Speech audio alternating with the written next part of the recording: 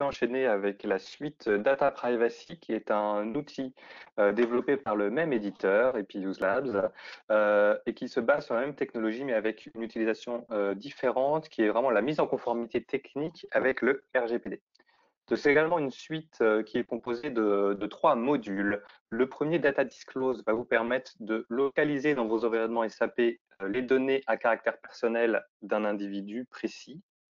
Data Redact va vous permettre d'effacer ces données, mais tout en gardant l'intégrité, euh, la logique, la cohérence de ces données dans votre environnement SAP.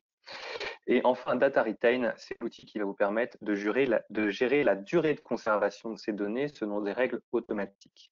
Alors, pourquoi ces trois outils? C'est parce que ça répond euh, à des demandes précises du, règlement. Euh, donc, je ne vais pas bien sûr m'attarder sur les détails du RGPD, mais euh, ce qu'il faut bien voir, c'est qu'il y a quelques articles qui concernent vraiment SAP, notamment donc la durée de conservation des données, le droit d'accès d'un individu à ces données, et également le droit à l'effacement, le fameux droit à l'oubli. Et le RGPD stipule qu'il ne suffit pas euh, de mettre un formulaire sur votre site euh, pour demander à ce que les données soient effacées. Il va également falloir prouver à la CNIL, en cas de contrôle, pour éviter les amendes lourdes qui commencent à, tomber, que vous avez mis en œuvre des mesures techniques pour répondre à ces nouveaux droits comment est-ce qu'on répond à ces mesures techniques Donc, avec les modules dont je vous ai parlé? Pour ce qui est euh, du droit d'accès à ces données, on a donc Data Disclose qui va vous permettre pour un individu qui en fait la demande de trouver toutes les données qui le concernent dans votre paysage SAP, que ce soit en production, euh, développement, euh, par ailleurs production, et également au-delà de l'ERP dans votre CRM, dans votre BI. Et donc de récupérer ces données et puis de les mettre dans un PDF éventuellement pour le transmettre à la personne. Euh, on a euh, Data Retain qui là va gérer tout ce qui est la durée de conservation des données. On va pouvoir mettre en place des règles automatiques euh, qui vont dire qu'à partir de tant de temps, par exemple, dans votre, dans système, si la donnée n'a pas été exploitée, elle sera automatiquement, effacée puisque vous ne pouvez plus en justifier l'usage selon, les termes du, RGPD. et enfin, comment est-ce qu'on efface ces données? C'est avec Data Redact. On ne peut pas effacer véritablement, supprimer une donnée de SAP, ce serait dangereux pour l'intégrité référentielle. Par contre, on peut les rendre illisibles, on va les expurger, on va les, on va les caviarder pour faire en sorte que, euh, d'un point de vue logique, la donnée soit toujours là, mais qu'elle soit rendue illisible, donc on ne sait plus euh, qui elle concerne et quelles sont euh, les données personnelles qu'elle peut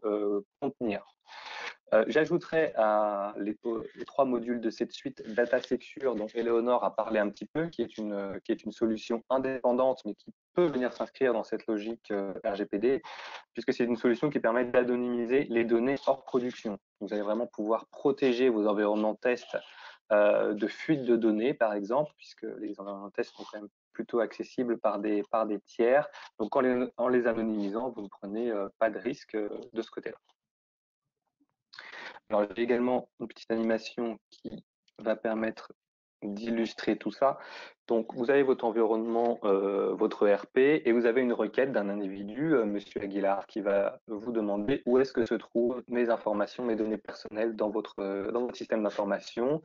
Et donc, l'outil Data Disclose va rechercher toutes les données pertinentes qui ont trait à cette, à cette personne. Vous allez récupérer un rapport, vous allez vérifier que ça concerne bien le même individu, par exemple, vous pouvez mettre plusieurs critères hein, euh, au-delà du nom pour être certain d'avoir la bonne personne. On va euh, les rendre euh, lisibles. Hein, on ne va pas leur donner une suite de clés de chiffres, etc. et toutes ces données qu'on a récupérées, une fois qu'on a validé que c'était bien les bonnes, on peut les mettre sous forme de PDF et les transmettre directement à la personne qui en a fait la demande. Et suite à cela, ou, en parallèle, on peut utiliser ces données pour, qui sont maintenant identifiées pour les effacer. Voilà. Euh, donc on va venir euh, caviarder ces données, les rendre illisibles en fait, elles sont toujours présentes en termes d'intégrité référentielle dans vos environnements. Et voilà, et vous avez répondu euh, à la problématique du droit à l'oubli dans votre environnement SAP.